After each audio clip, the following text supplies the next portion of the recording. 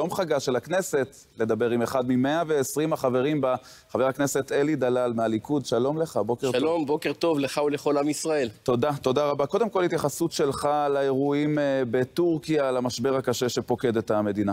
אז תנחומיי לעם הטורקי.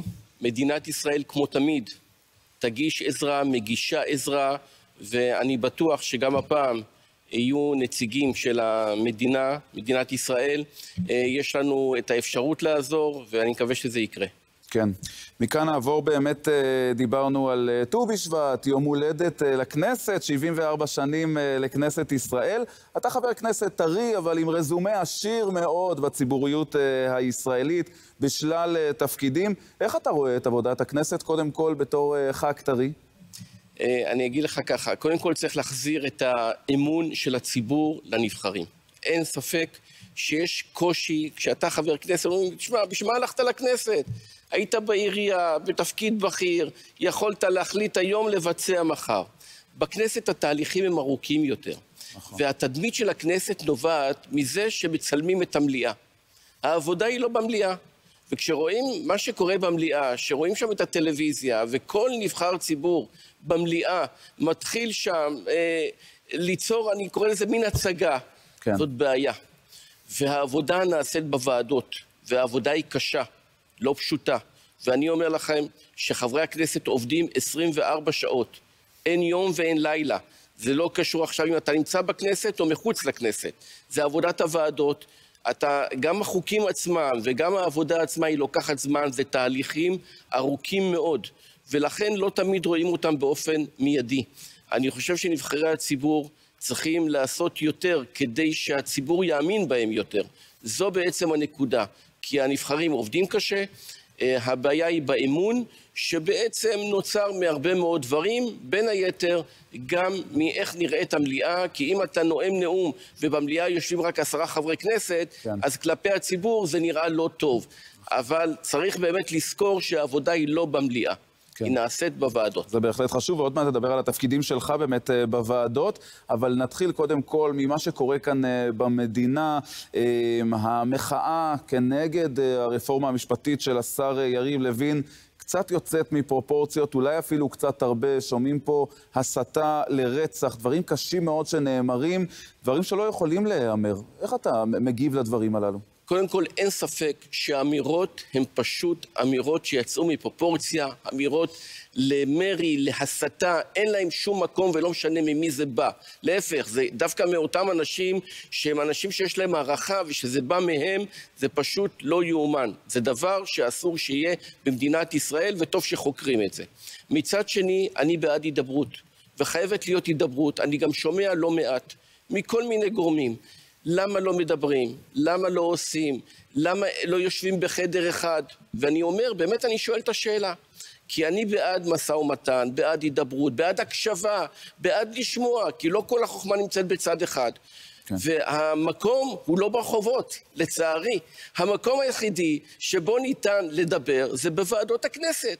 וישנה ועדת חוק, חוקה ומשפט, ששם אפשר להשמיע את הדברים. ונגיד גם יותר מזה, אם האופוזיציה, ולא משנה, כל, כל גורם שהיה חושב שיש לו מה לומר, יבוא לוועדה. ויותר מזה אפשר גם ליצור את המצב של נציגות מהאופוזיציה ונציגות אולי ממחלק, מהרשות המחוקקת, הרשות השופטת, לשבת יחד, כי אני רוצה לומר דבר פשוט, כל, כמעט כל, שרי המשפטים לדורותיהם דיברו על רפורמה. דיברו על שינוי, כן. דיברו על איזון בין הרשויות. גם כאלה שיושבים היום באופוזיציה נכון, וצווחים וצועקים. ציפי לבני, היא דיברה כן. על זה, זה לא שזה... ולכן, ולא, ואפשר להגיע להסכמות, והדברים הם אפילו אה, נדרשים, זה לא שזה לא נדרש, צריך להיות פה איזון בין כל המערכות. עכשיו בואו נדבר.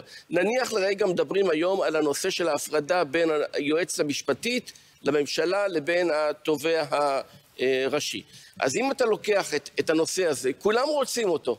השאלה איך עושים אותו. בוא כן. נשב ונדבר על זה. איך אתה רואה את אה, מתווה הנשיא? אתה מסכים? אתה דעתך ש... תראה, אני, אני אגיד לך ככה, אני חושב שהנשיא צריך להתערב. אבל לבוא ולהגיד, חבר'ה, תפסיקו עכשיו את החקיקה, זה לא רציני. זה כמו שהיה אומר, בואו תפסיקו עכשיו את המחאה. זה זכות, שכל אחד יכול להפגין ולמחות, וגם אותו דבר גם בכנסת. אני חושב שצריך להמשיך עם הוועדה, כי הוועדה, מה היא עושה? עוד לא הגיעו אפילו לקריאה ראשונה.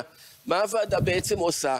היא כרגע בודקת, יש דיונים, יש רעיונות, צריך להעלות אותם, לא צריך להפסיק. זה לא שאנחנו עכשיו נמצאים בקריאה השנייה או השלישית ואומרים בואו נעצור את החוק. עוד אין אפילו חוק. יש כרגע רעיונות ודיונים.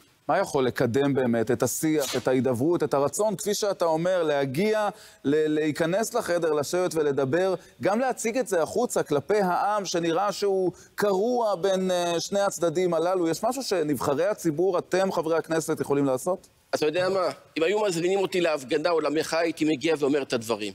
אני חושב שאסור שיהיה קרע בעם, זה לא הגיוני. אנחנו לא נמצאים במלחמת אחים. אנחנו הגענו לפה, מה זה, ההורים שלי הגיעו לפה כדי שתהיה פה מדינה יהודית, שנוכל לגדל פה את הילדים שלנו ואת הנכדים שלנו. חשוב לנו מאוד שנהיה מאוחדים. אז יש ויכוח, זה לגיטימי. יש דעות שונות, זה לגיטימי. אבל לקחת את זה למלחמה, חס וחלילה, זה דבר שאסור שיקרה. כן. טוב, מכאן נעבור לתפקידים שלך. אתה משמש כיושב ראש הוועדה לזכויות uh, הילד, הילד, אתה גם חבר בוועדת הכספים. נכון. ספר לנו על, על הפעילות, על, על מה שאתה מביא בעצם לכנסת. תראו, אה, כמו שציינתי קודם, הוועדות בכנסת הן מאוד מאוד חשובות. אה, וכל הוועדה יש לה תוכן גדול מאוד, ואני רואה גם את הפניות לוועדה מגורמים שונים. הוועדה לזכויות הילד עוסקת בעצם מגיל 0 עד גיל 18 בכל מה שקשור לילדים, ואנחנו רואים לא מעט דברים, אם זה דוח העוני. אנחנו מדברים עכשיו על ילדים שהולכים לישון, יש כאלה שאין להם אפילו קורת גג, או שהולכים לישון רעבים, ואת הדברים האלה אנחנו צריכים, במדינת ישראל אסור שיקרו. אנחנו במדינה שאפשר לעזור לאותם ילדים, ויש הרבה מאוד מה לעשות. גם בוועדת הכספים. אנחנו, היו לנו דיונים על הנושא של עליית מחירי החשמל, תעריפי החשמל. כן. לא צריכים לעלות. הדיון היה צריך איך להוריד את מחירי החשמל. ולמה? כי אם רשות החשמל באה ומדברת על עליית מחירי הפחם, אז צר לי, אם היו מסבים את הטורבינות של, ה... של הייצור בפחם לייצור בגז, היינו מדברים על הורדת התעריפים, לא על העלאת תעריפים. כן. וזה בדיוק, צריך להסתכל על זה מנקודת מבט מקצועית, ויש פה הרבה מה לשנות והרבה מה לעשות, גם בנושא של מחירי הדיור. כן, אז בהחלט והמשכנתאות. באים לעבוד למען האזרחים, ונקווה שהפעילות שלכם באמת אה, תצמיח פירות יפים באווירת אה, היום הזה. חבר הכנסת אלי דלל, הליכוד, תודה רבה לך שבאת אלינו. תודה רבה גם לכם. חג אילנות שמח תודה. לכל עם ישראל. תודה רבה לך.